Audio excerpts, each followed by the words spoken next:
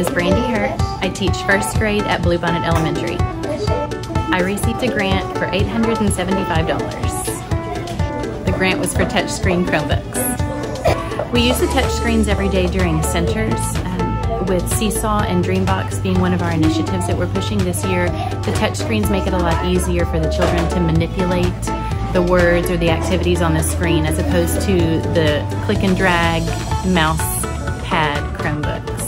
Uh, the kids really enjoy it. It just makes learning a little more interactive.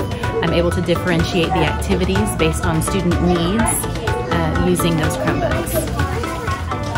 Thank you so much, Education Foundation. It means a lot to me and my kids.